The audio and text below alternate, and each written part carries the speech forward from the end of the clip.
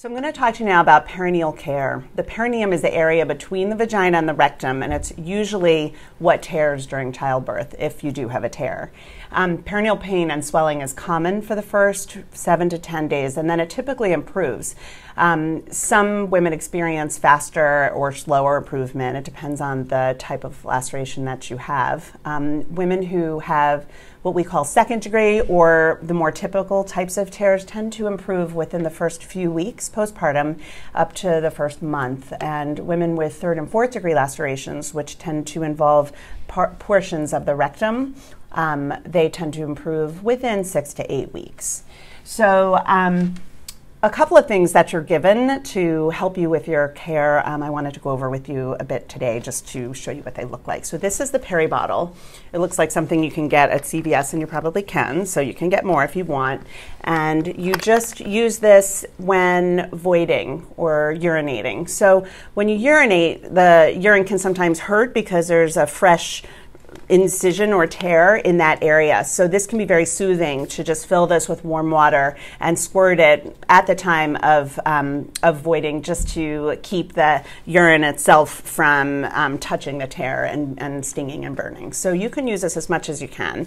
Um, Ice is also recommended. We use ice for the first 24 to 48 hours. You can use it longer if you want to. It tends to be more helpful in the first 24 to 48 hours to reduce swelling as well as provide some comfort. Um, it's important to keep the ice um, fresh and refresh it. And it's also important not to put the ice directly on you, just to make sure that you're not, you know, burning yourself with the ice. But in general, um, ice can be very soothing, and it's definitely something we recommend. Um, after the first 24 to 48 hours, we recommend something called a sitz bath. And a sitz bath is um, something that it looks like this, comes in um, your room. We tend to recommend them very strongly for people with third and fourth degree lacerations, and certainly anybody may find that it is beneficial for them.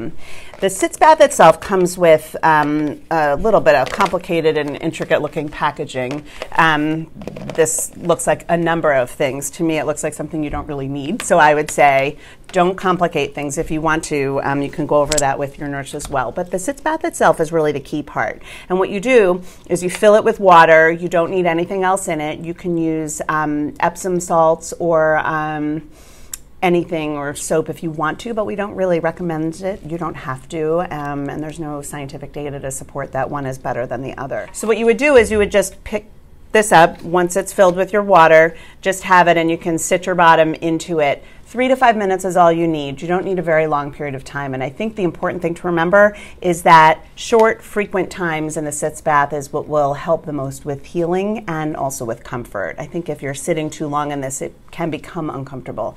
If sitting in this is uncomfortable at all, you can also fill your, your tub with. Um, just a few inches of water and sneak yourself into there and be able to do it. What the important part is just to submerge the sutures from your perineum, from the tear, into the water just for a short period of time to help clean out the area and promote healing.